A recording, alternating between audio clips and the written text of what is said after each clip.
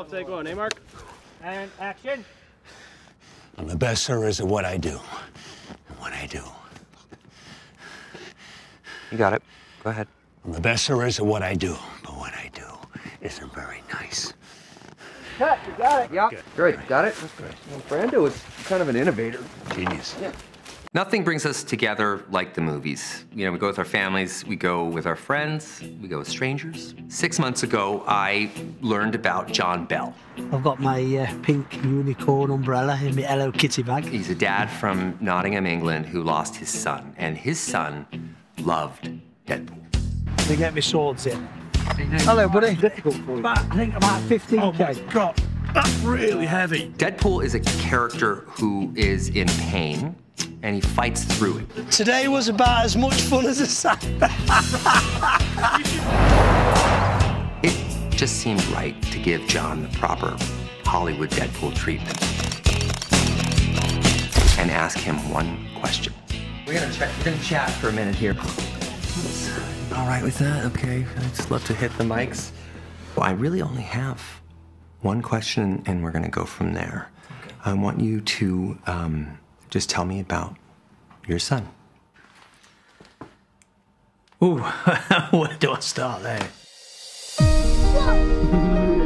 Hello, hello, hello. He was just so funny, so comical, and how we did everything together. He was my firstborn son. He was just absolutely everything to me. Absolutely fantastic. Thank you for just stopping to appreciate everything. When I was introduced to you, you were in a, a Deadpool suit, basically, Yeah. and um, you were carrying a bathtub. That's right. So yeah, it, it does. It represents the weight that parents people carry when they struggle with the mental health, but it's visual. After I lost my son, Jake, uh, it put me in a very dark place.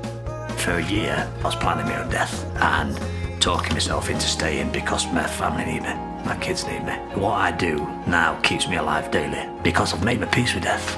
Mm. I'm going to be reunited with him at some point, but it damn right ain't now.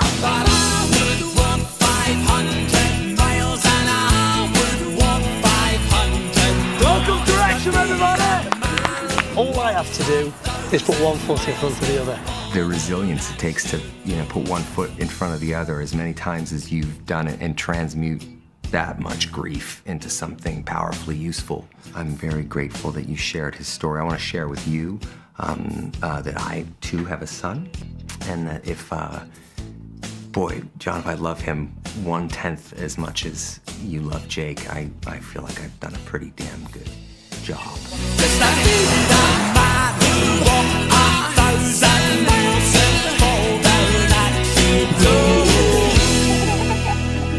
Have a look. Yeah, hang on. Here.